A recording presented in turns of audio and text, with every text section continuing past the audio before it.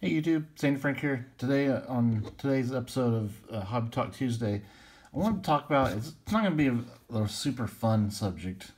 It's going to be the subject of these online card crate slash subscription um, card boxes that you can buy. Um, all the ones I've I've purchased from have always been online, and um, like some of these I'm sure you guys have seen me open on the channel or you've watched other YouTubers. Um, there was the card crate. They were around um, a few years ago. I don't think they're around anymore. Um, that was the first one I had ever tried. And um, and then I think there was the Boombox. Um, they are still around. I did some research. They're still doing things. And there was the Card Sharks Club. I checked. That I don't think they're still around. And then there's another company that I've been opening some on, but having some very bad experiences with that company, and I will never mention their name on my channel again. But um, you can go on my channel. I'm not going to remove the videos or anything, but the question is, should I buy subscription slash online card boxes of baseball cards or whatever. Like you can get basketball ones, uh, football ones, um, other stuff too. So a lot of these companies, they um, all the ones that that I've tried. Oh, there was also the Mojo card box. I don't remember that. That was that was an interesting one too. That they've they're no longer around either. But all these types of business uh, are similar where they um, will sell hobby packs. Um, let's say you order like the baseball boombox. Um, this one I think you can pick. Um, they have just a regular selection of, of packs, or you can also customize it and get whatever packs you want. But you're basically paying for a bunch of hobby packs. Um, you can either subscribe to them or you can also just make a single purchase and you get the packs shipped to you in a box like this. And they're very super fun to open. It's, there's nothing like opening just a bunch of random packs of stuff.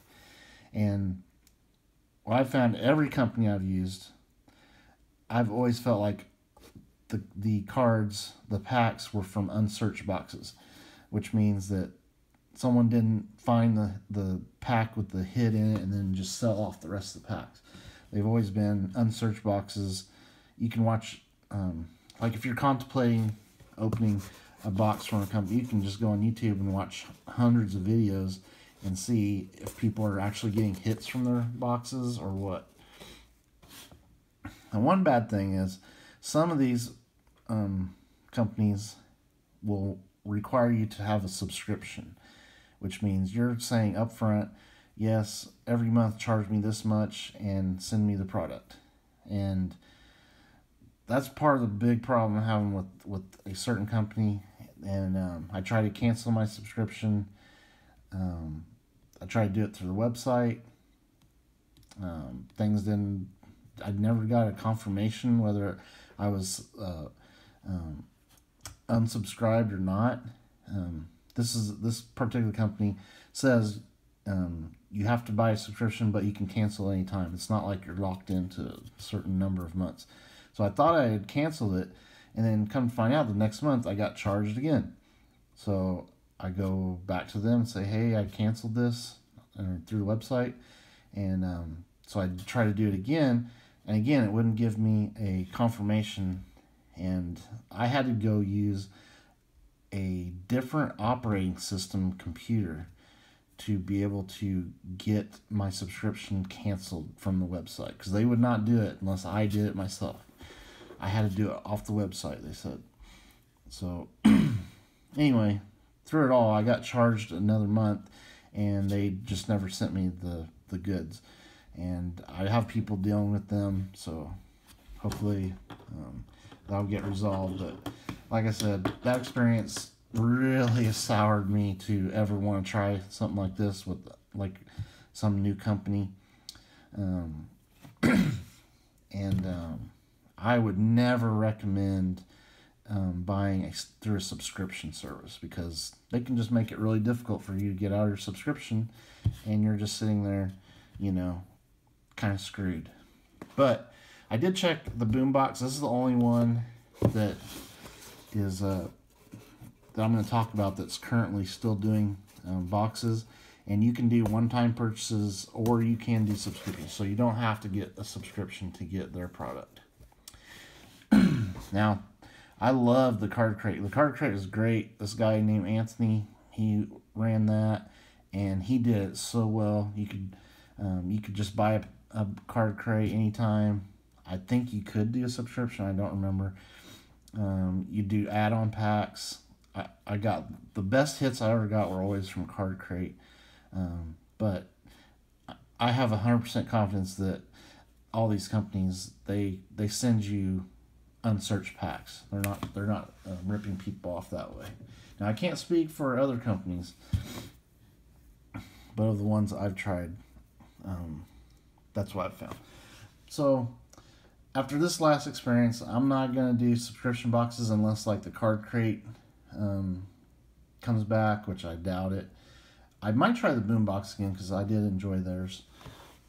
but one thing I've been doing as an option to this that's just as fun, I've been going to the local hobby shop and I just do my own, um, the local um, sports card hobby shop and just pick out um, from the packs that they have uh, of the different sets that they have and make my own um, I'd call it the Sandy Frank Baller Box. And you've, if you've been watching the channel, you've probably seen me doing these. They're just for fun. I'm not selling these, nothing like that. Um, the concept is kind of like these, these other boxes. Uh, I've been trying to go once a month with the budget in mind, um, which is half of the price of brand X there, and use that budget to buy a bunch of packs. And I have super fun um, doing that negotiating and stuff like that. Now, what's good is the local hobby shop that I go to, that's the way they do business. They don't individually price stuff. It's kind of like a market value type thing. Um, their cards are the same way that you buy. Uh, you ask about a card, how much are you guys selling this for? They they determine the price they want to sell it for. You can come back at them and say, hey, would you take this? So not every hobby shop is like that. A lot of them are firm on prices, and you'd probably just be annoying them to, to negotiate. But this, the, the hobby shop I like to go to, they do enjoy the negotiations just as much as I do. So I am actually going to do another one of these in August, and I'll take uh, I'm going to take $130, which was half the price of um, brand X, and go and go through the the uh, hobby shop and figure out which packs I want to get for that price. Now, one disadvantage of me doing it this way is that there's no guarantee that the packs that I would be buying are from unsearched boxes. Um, these are not sealed boxes that I'm buying out of. They're like the loose packs in boxes that are in the store. So there's a chance that someone might have started open a box of those cards and got a, a, the pack that has the, the main the hit card in it and just decide they didn't want to buy the rest of the packs. And um, and then they just are on the shelf that way. But so that is definitely a disadvantage to what I'm doing, but it's also a lot of fun. And I'm mainly looking for rookie cards and stuff like that. And if I hit a hit card, awesome. If not, it's still a lot lot funner. And as you'll see um, in these videos that of the Sandy Frank baller boxes, um, I usually get way more packs than what I'm able to get with these subscription type boxes. So, so most of the time on these uh, Hobby Talk videos, I pose the question and almost the answer is always yes, I should do this. But for the answer of should I buy online subscription slash online card boxes, my answer is going to be no. And I think um, especially if your local hobby shop does not let people um, search through boxes, I think you should do this too. Just try it and see if you have fun with it. And plus, you're getting um, the packs that you want. You're not getting some weird packs that you didn't really want that much. Um, you're getting to pick your packs. You're getting to work with a budget. It helps you not spend too much on a pack, and um, and just have fun with it. Now, um, definitely stay tuned for my August Sandy Frank Baller boxes. I'm actually going to go there this week. Um, this is here at the very end of July. So I'm going to go there this next week and use my 130 and buy packs and I'll open them on the channel out of this box. And uh, we'll see if we get anything good. And um, like I said, my budget will be 130 uh, I won't spend any more or any less. I'm to make sure that whatever my total is, it's going to be 130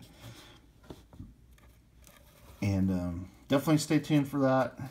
Now, if you don't have a hobby shop in your area, I can definitely see the the uh, the awesomeness of some of these other types of companies here because you get them delivered to your door. You don't have to go to the store. You don't have to to um, worry about getting um, packs that have been from boxes that have been searched. So yes, there is value in this, but just guys, be careful getting into a company that will require you to have a subscription. That was, that's my main thing. That's that's the big thing that I'm having a huge problem with is the subscriptions because you know they can just outright do whatever. Not saying that's what this company did, but they can change things up where it makes it very difficult for you to get out of your subscription. So I I would have to recommend just doing like you want a boombox, go there, buy one. Don't do a subscription, just buy one. You want um, there's many more brands than just these. These are ones that I've tried. Um, and you can also do different price levels. You don't have to spend $130. Like I'm pretty sure you can get boom boxes for 30, 40, 50 bucks. I mean, you don't have to spend big bucks.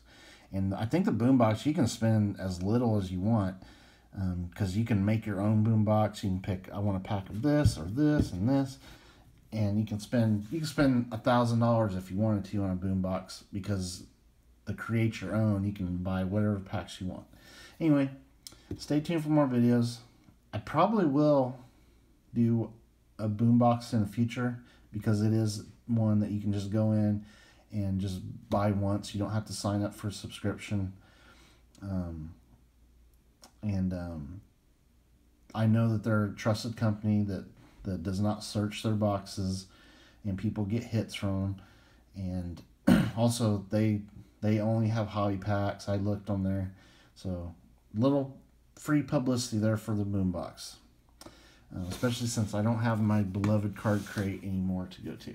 All right, stay tuned for more videos, guys. Leave comments, and, and ho hopefully this video will trigger some comments so we can have a nice discussion on Friday for Friday follow-up. All right, stay tuned for more videos. Later.